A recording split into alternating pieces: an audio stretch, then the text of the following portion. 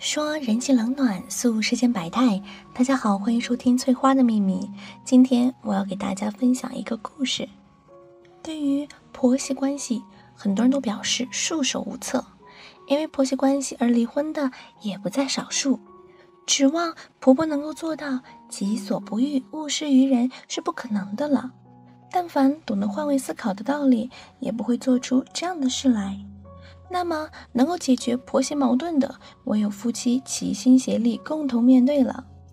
丈夫从中调节婆媳之间的关系，儿媳呢，也要掌握好与婆婆之间的界限感。朋友小丽呀，今年二十三岁，刚刚结婚不到一年，丈夫阿祥呢，比她大两岁，两个人呀，是在工厂里打工认识的。小丽老家在农村。父母一直做养殖业，还有种地，一年的收入呀还可以。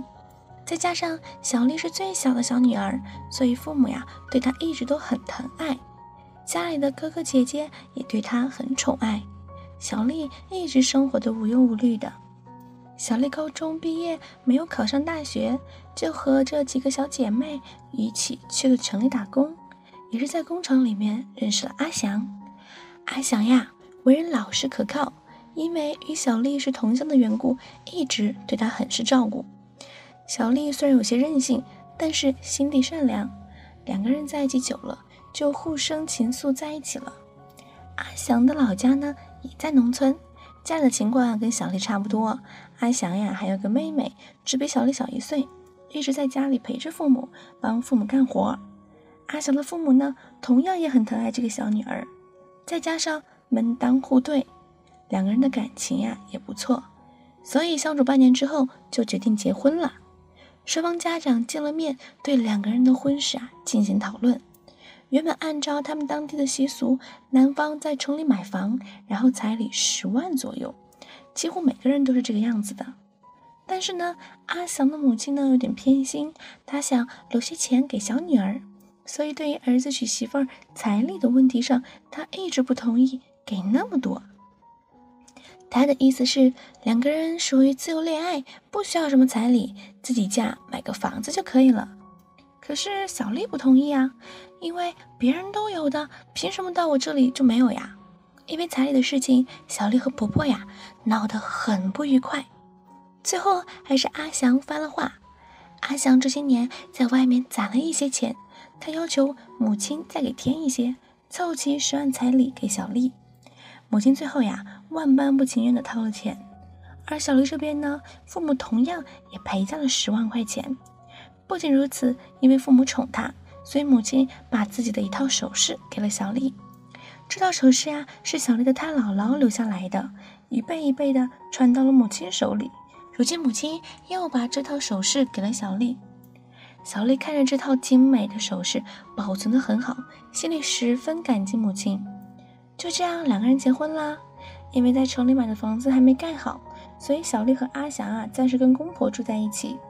因为彩礼的问题呢，婆婆一直对小丽印象不好。受到母亲的影响，阿祥的妹妹呀也对小丽的态度不怎么好。娘俩平时里呀总是合起伙来挤兑小丽。小丽呢从小娇生惯养，哪受过这样的气？于是和婆婆还有小姑子经常吵架。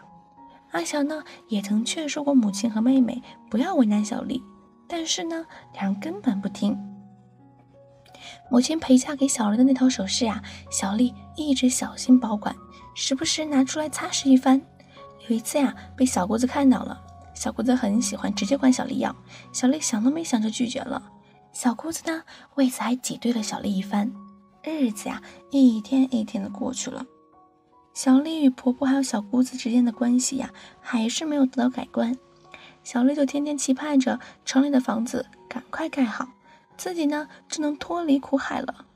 那一天，小丽在厨房干活，小姑子啊在旁边择菜。小丽眼光一瞥，就看到小姑子手上戴着一个玉镯，跟母亲送给自己那个很像。她一下子就警惕了，匆忙回到自己的房间去看。这一看不打紧，首饰果然都不见了，只剩下一个空盒。小丽愤怒极了，她跑出屋子，找出小姑子，拽着她的手质问：“这套首饰你怎么偷来的？”小姑子一看被发现了，立马甩开小丽，争辩道：“什么偷的？这是我妈给我的。”婆婆刚好闻讯而来，看到两个人争执，于是拉开小丽训斥道：“你喊什么喊？这首饰我女儿喜欢，你又不戴，我就送给她了。”小丽一听，气得差点吐血，吼道：“这是我的东西，你凭什么送人？你上我那里偷来的，你还要不要脸？”婆婆脸色也变了，对着小丽吼道：“你嫁给我儿子，这些东西就是我们家的，你个没大没小的泼妇，还敢骂我！”小丽与婆婆吵了起来，小姑子在旁边也骂小丽，小丽被气得直哭。小丽回屋后，立马给家里打电话，哭着把事情说给了父母。父母呢，叫她别着急，明天他们就去讨说法。到了明天，小丽的父母带着子女亲戚一帮人来到了阿祥家里。一进门，小丽的母亲就吼道：“偷东西的，你给我出来！”阿祥一看到这样的阵势，也是慌了。小丽母亲对着婆婆说道：“我今天念你是我的亲家。”我不对你动手，结婚这么久，你一个做老人的天天刁难我女儿，你还要不要脸？我给我女儿的首饰你也敢偷？赶紧把首饰给我交出来！阿祥呢，在一旁不停的说好话，叫母亲赶紧把首饰交出来。小姑子不情愿的把首饰拿了出来。小丽母亲拿着首饰，对着阿祥一家说道：“这个女儿是我的心尖肉，我平日里在家里都宠着她，嫁到你们家，你们竟然欺负她！今天我就说一句话。”阿祥，你给我听着，要么你和我女儿离婚，要么就赶紧搬出你这个家。家人的撑腰让小丽扬眉吐气，阿祥也表示尽快搬出去住。婆婆和小姑子被小丽一家的人给吓到了，大气都不敢喘一声。婆媳之间的相处还是需要一定的界限感，界限感就是要婆媳之间相互尊重、相互理解，保持一碗汤的距离。而我认为，结婚后女人最好还是不要和婆婆居住在一起。因为相处的时间久了，难免会产生矛盾。婆媳关系，记住一句话：远香近臭，保持距离，方能皆大欢喜。好啦，今天的故事就到这里。如果您有喜欢的故事，记得在视频下方留言，我们会尽力满足您的需求。